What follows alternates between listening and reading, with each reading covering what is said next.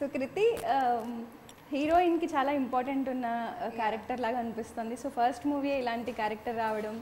So ఎలా అందుకే actually ఈ స్క్రిప్ట్ సెలెక్ట్ చేశాను. ఓకే. నాకు యాక్టింగ్ ఎప్పుడు ఇంట్రెస్టే కానీ కెరియర్గా అనుకోలేదు. ఓకే. కానీ ఓన్లీ మోడలింగ్ సైడే ఉందాం అనుకున్నారా? మోడలింగ్ అండ్ జస్ట్ క్యాజువల్గా ఓకే. లైక్ కెరియర్గా అయితే అనుకోలేదు.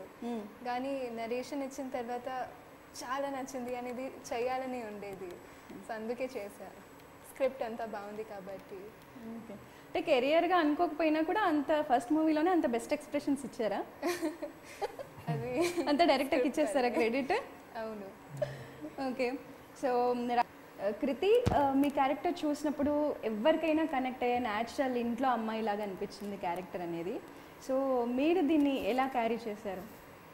సో యాక్చువల్లీ చాలా bubbly and innocent character I think అందుకే ఆడియన్స్ ఎక్కువ కనెక్ట్ అయిపోయారు.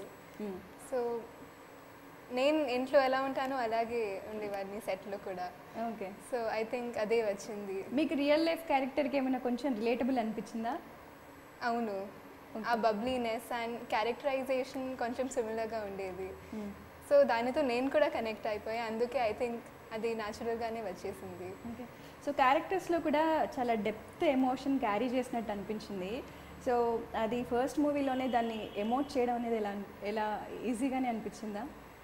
ఐ థింక్ ఒక క్యారెక్టర్ ప్లే చేయడంలో um,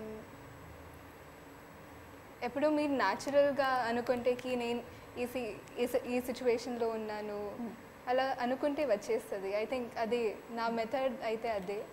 సో అలా ఆలోచించి వచ్చింది This is Abhinav Gomatam. Hello నేను Avantika Mishra Hello, this is Tarun Bhaskar. Please subscribe to TV5 Tollywood. Please uh, subscribe to TV5 Tollywood. Please subscribe to TV five Tollywood